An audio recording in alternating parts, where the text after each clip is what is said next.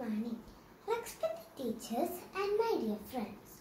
Today, I am going to tell you the story of Pinocchio. Geppetto, a toy maker, once thought of making a puppet. With that idea, he went his friend Antonio, a carpenter.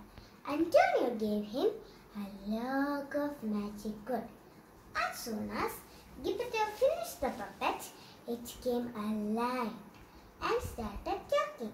He named him Pinocchio and loved him like his own son. But Pinocchio was very naughty. One day, on his way to school, Pinocchio saw a puppet show. He joined the puppets and entertained the crowd. The puppet master was very happy and rewarded him five gold coins.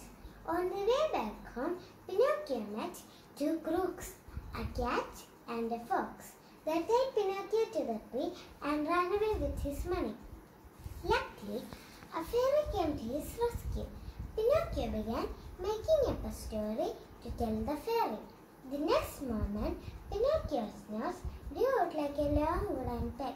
The fairy laughed and said, Pinocchio, whenever you lie, your nose will grow. After regaining his health, he came back to Geppetto. One day,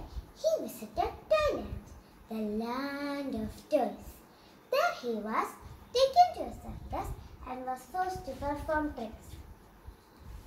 Suddenly, Pinocchio noticed his ears growing longer like a donkey. He failed to amuse the audience. The circus owner threw him into the sea, and a huge whale swallowed him. In the whale's stomach, Pinocchio saw Geppetto. They hugged each other in delight. When the whale was asleep, they crept out of his huge mouth and reached home. This time, Pinocchio became an obedient boy.